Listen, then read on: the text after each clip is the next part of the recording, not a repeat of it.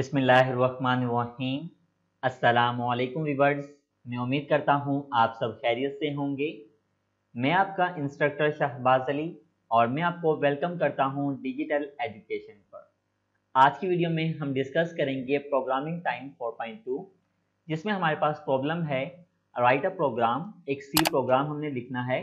That takes the marks obtained in four subjects जिसमें चार subjects के अंदर हासिल करदा मार्क्स आपने बताने हैं as a input from the users calculate the total marks and display on the screen यानी जो स्टूडेंट्स के चार सब्जेक्ट्स के मार्क्स हैं, उसको हम यूज़र से इनपुट करवाएँगे एक अरे की मदद से. यानी हम एक अरे डिक्लेयर कर लेंगे और उस अरे की मदद से हमने क्या करना है? उनको मार्क्स यूज़र से इनपुट करवाने हैं और देन जो उनका टोटल होगा सब्जेक्ट्स का वो हमने क्या कर देना है? डिस्प्ले कर देना है। तो सबसे पहले तो हम एक अरे डिक्लेयर कर देते हैं। अरे डिक्लेयर करने का तरीका सिंपल सा है। सबसे पहले हम डेटा टाइप लिखेंगे। सब्जेक्ट्स के लिए मैं यहाँ पे डेटा टाइप ले रहा हूँ फ्लोट और यहाँ पर मैं अपनी अरे का नाम रख रहा हूँ मार्क्स अरे का नाम लिखने के बाद आप स्केयर ब्रैकेट्स के अंदर नंबर ऑफ़ मैक्सिमम एलिमेंट्स बताते हैं। तो यहाँ पे हमारे पास नंबर ऑफ़ मैक्सिमम एलिमेंट्स आ जाएँगे तीन। क्योंकि आपको पता है इंडेक्स जो स्टार्ट होते हैं, वो ज़ीरो से स्टार्ट होते हैं। तो ज़ीरो वन टू थ्री ये हमारे पास हो जाएँगी चार इंडेक्सेस यानी चार लोकेशंस हमें मिल जाएँगी। और उन लोकेशंस के अंदर हम क्या करेंगे? वैल्यूज़ को स्टोर करेंगे।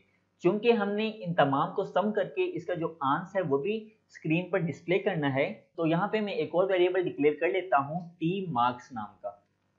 जिसमें हम क्या करेंगे? मार्क्स को टोटल करेंगे। हम यहाँ पर स्क्रीन पर एक मैसेज डिस्प्ले करवा रहे हैं, जिस पर हम यूज़र से कह रहे हैं enter the marks of four subjects. ये फोर सब्जेक्ट्स के जो मार्क्स हैं, वो इंटर करें। स्कैन ऐप की मदद से हम इनपुट करवाएँगे। यहाँ पे आप देखेंगे हमारे पास चार सब्जेक्ट्स के मार्क्स इनपुट करवाने हैं। तो यहाँ पर मैं सबसे पहले चार दफ़ा फॉर्मेट स्पेसिफायर का यूज़ करूँगा, जो कि हमारे पास है परसेंटेज एफ़ ये काम करने के बाद अब हमने जिस जिस लोकेशंस के ऊपर, यानी जिस जिस इंडेक्स के ऊपर वैल्यू स्टोर करनी है, हमें उसको बताना पड़ेगा। हमने कहा मार्क्स, ज़ीरो लोकेशन पर। इसी तरह मार्क्स वन लोकेशन पर, यानी वन इंडेक्स पर। मार्क्स टू इंडेक्स पर। मार्क्स थर्ड इंडेक्स पर। यानी ये हमें लोकेशंस बता दिए। आपको कंप्यूटर में कंजेक्टिव मेमोरी मिल गई है, जिसके इंडेक्सेस आपके पास हैं ज़ीरो, वन, टू, थ्री। अरे का फ़ायदा ये होता है कि हमें कंजेक्टिव मेमोरी मिल जाती है कंप्यूटर के अंदर। ये काम करने के बाद अब यहाँ पर आप देखेंगे, हम जब इसको रन करेंगे तो यूज़र यहाँ पे चार सब्जेक्ट्स के मार्क्स इनपुट कर देगा। अच्छा वही चार सब्जेक्ट्स के मार्क्स का हमें टोटल करना है तो मैं यहाँ पे लिख रहा हूँ total marks is equal to और यहाँ पे हम कर देते हैं कि आप मार्क्स कर दें ज़ीरो लोकेशन पे जो पड़ा हुआ है, उसको जमा कर दें, जो फ़र्स्ट इंडेक्स में पड़ा हुआ है देन उसके बाद जमा कर दें, जो सेकंड इंडेक्स पर पड़ा हुआ है एंड जमा कर दें इसको, जो थर्ड इंडेक्स पे पड़ा हुआ है। देन ये काम करने के बाद, आइए, अब हम एक स्क्रीन पर मैसेज डिस्प्ले करवा देते हैं। मैसेज के हम लिख देते हैं टोटल मार्क्स ठीक है? फॉर्मेट स्पेसिफायर मैंने एफ़ लिखा। इसके बाद मैंने अपने वेरिएबल जिसमें सबका सम पड़ा हुआ है टी मार्क्स नाम का, उसको यहाँ पे मैंने राइट कर लिया।